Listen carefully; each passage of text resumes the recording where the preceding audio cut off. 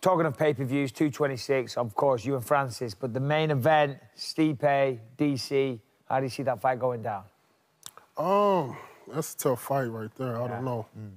Um, I believe DC will get it. You know, I'm at Fox right now, so I gotta say DC. yeah.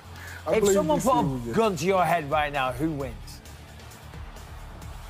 I don't know. Who you think wins? Ah, see, that's a tricky one. I, I- honestly, I can see a way that they both win. You know what I mean? I, I really can. I, I'm undecided. You know, both guys have got a good shot of winning that fight. That's what makes it a great fight.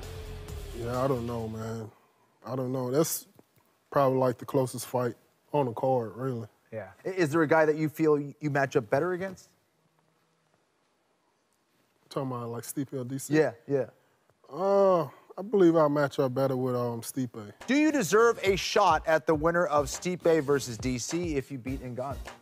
I believe I deserve a shot if I knock Stipe, um, Ngannou out. You know, if, it, if I win by decision, I don't believe I, I should um, get a shot.